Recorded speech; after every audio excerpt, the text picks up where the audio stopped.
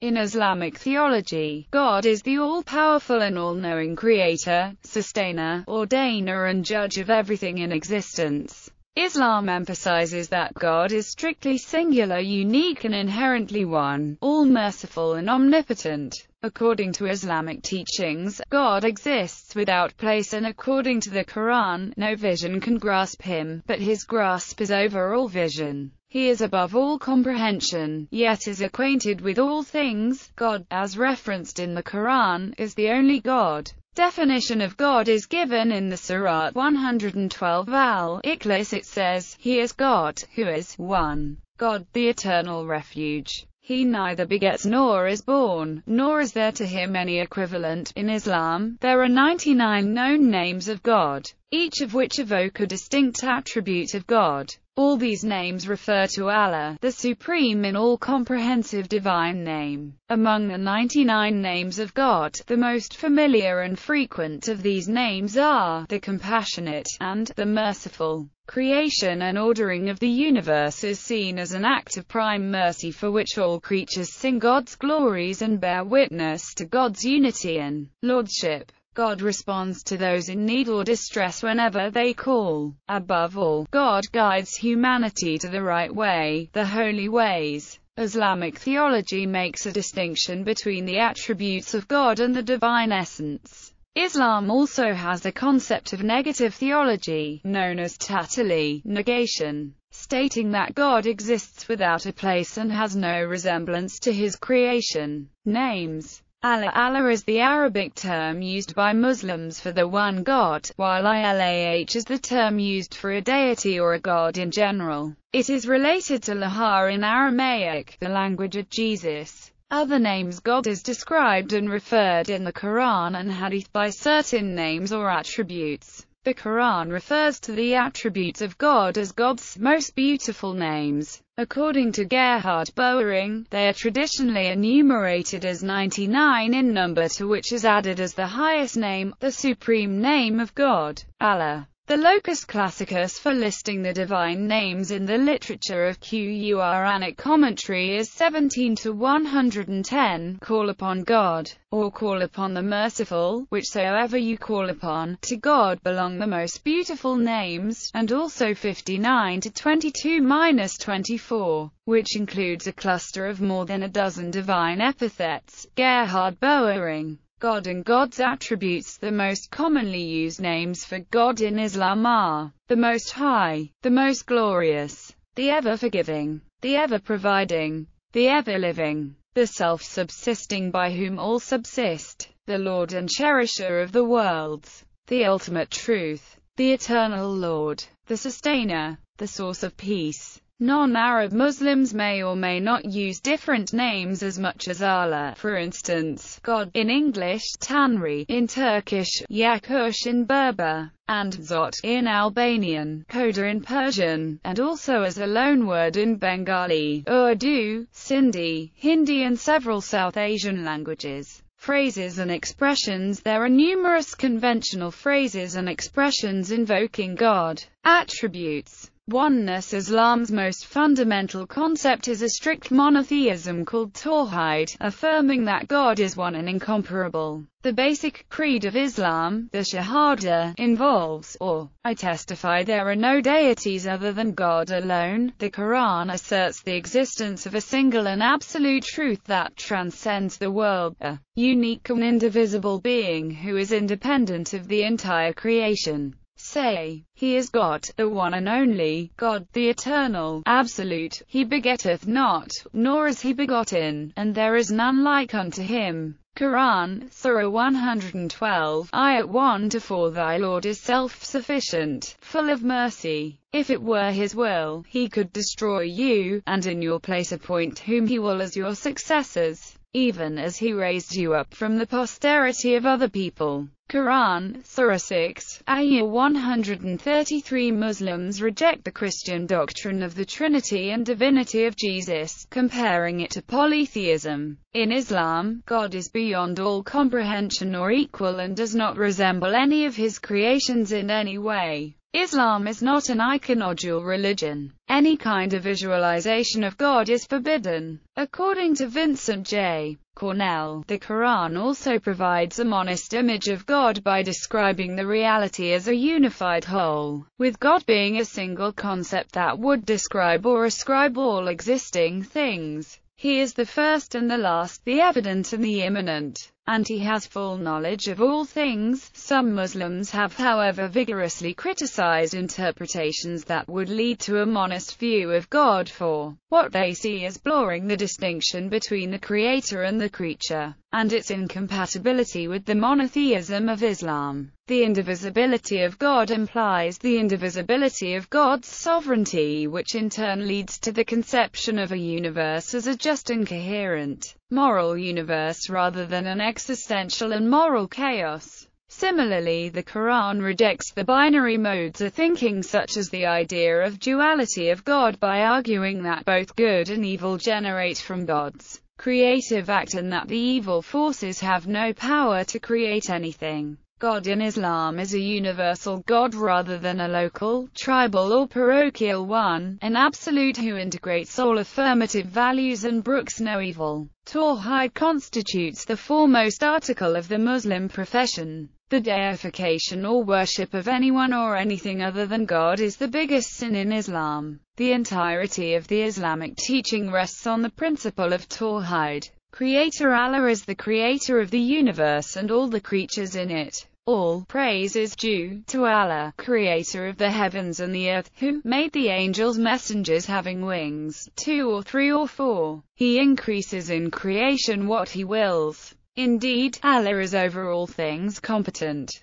Quran, Surah 35 Ayat 1 And it is we who have constructed the heavens with might and verily, it is we who are steadily expanding it. Quran, Surah 51 ADH Ayat 51 to 47 We created man from an extract of clay. Then we made him as a drop in a place of settlement, firmly fixed. Then we made the drop into an alaqah. Then we made the alaqah into a mudghah. Then we made out of that mudghah bones. Then we clothed the bones with flesh, and then we brought it forth as another creation. So blessed be Allah, the best of creators. Quran, Surah Al-Mu'minun 23:12 And God said, O mankind, be dutiful to your Lord, who created you from a single person and from him he created his wife, and from them both he created many men and women. Quran, Surah 4-1, IESA said, And verily Allah is my Lord and your Lord, so worship him. That is the straight path. Tafsir at-Tabari, Quran, Surah Maryam 1936 Mercy The most commonly used names in the primary sources are Al-Rahman, meaning, most compassionate, and Al-Rahim, meaning, most merciful. God is said to love forgiving, with a hadith stating God would replace a sinless people with one who sinned but still asked repentance. Also the word Rahman comes from the word Rahm which means the womb of the mother so it is a comparison between God's mercy to the mercy of the mother with her child. His mercy takes many forms from as he say in the Quran, and my mercy embraces all things, 7 to 156. This is shown by a in Muslim narrated from Abu Huraira said the Prophet said, Allah has 100 parts of mercy, of which he sent down one between the jinn, mankind, the animals and the insects by means of which they are compassionate and merciful to one another, and by means of which wild animals are kind to their offspring. And Allah has kept back 99 parts of mercy with which to be merciful to his slaves of the day of resurrection. Also God's mercy according to Islamic theology is what gets a person into paradise. According to Hadith in Sahih al-Bukhari, no one's deeds will ever admit him to paradise. They said, not even you, O Messenger of Allah. He said, no, not even me, unless Allah showers me with His mercy. So try to be near to perfection. And no one should wish for death, he is either doing good so he will do more of that or he is doing wrong so he may repent. Omniscience The Quran describes God as being fully aware of everything that happens in the universe. including private thoughts and feelings, and asserts that one cannot hide anything from God. And, O Muhammad, you are not engaged in any matter or recite any of the Quran and you, people, do not do any deed except that we are witness over you when you are involved in it and not absent from your Lord is any part of an atom's weight within the earth or within the heaven or anything smaller than that or greater but that it is in a clear register. Quran, Surah 10, Ayat 61 And indeed we have created man, and we know what his own self whispers to him, and we are nearer to him than his jugular vein. Quran, Surah Qaf. 50 to 16 Royal we. The word we in the Quran does not mean that God is plural. The word we which were used in the Quran are majestic plurals. Relationship with creation. As in the other Abrahamic religions, God is believed to communicate with his creation via revelations given to prophets. The Quran in particular is believed by Muslims to be the verbatim word of God as revealed to Muhammad. Hadith are the records of Muhammad's sayings and example, and Hadith Qudsi is a subcategory of Hadith, which Muslims regard as the words of God repeated by Muhammad. According to Ali ibn Muhammad al-Jurjani, the Hadith Qudsi differ from the Quran in that the former are expressed in Muhammad's words, whereas the latter are the direct words of God. Muslims believe that creation of everything in the universe is brought into being by God's sheer command, be, and it is, and that the purpose of existence is to worship God. He is viewed as a personal God who responds whenever a person in need or distress calls him. There are no intermediaries, such as clergy, to contact God who states in the Quran, It was we who created man and we know what dark suggestions his soul makes to him. For we are nearer to him than jugular vein. Muhammad al-Bukhari, in his Sahih Bukhari, narrates a hadith Qudsi, that God says, I am as my servant thinks I am. Allah's relationship with his servants is like a loving master who overlooks their sins but asks them to repent. If they don't repent before death then his wrath will overtake them. The relationship between Allah and his servants can be summed up in one verse, Declare unto my slaves, that truly, I am the oft-forgiving, the most merciful, and that my torment is indeed the most painful torment. 1549-50, Comparative Theology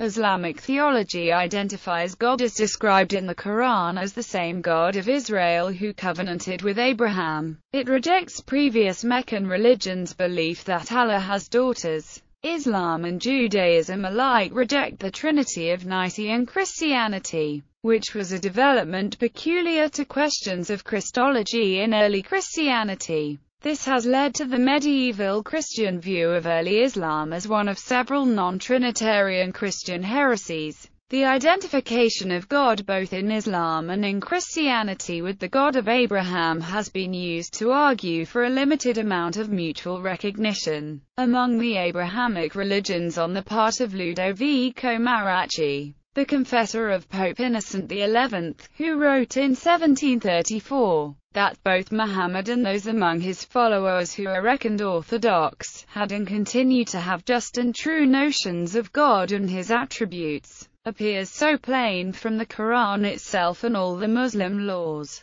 that it would be loss of time to refute those who suppose the God of Muhammad to be different from the true God. Bibliography Al-Bayhaqi, Allah's Names and Attributes, ISCA, ISBN 1-930409-03-6. Hulusi, Ahmed, Allah, as introduced by Muhammad, Kitsan, 10th ed., ISBN 975-7557-41-2. Muhaiyaddeen. R. Bawa, Asma Husna, The 99 Beautiful Names of Allah, The Bawa Deen Fellowship, ISBN 0-914390-13-9. Netton, Ian Richard, Allah Transcendent. Studies in the Structure and Semiotics of Islamic Philosophy, Theology and Cosmology, Routledge, ISBN 0-7007-02873.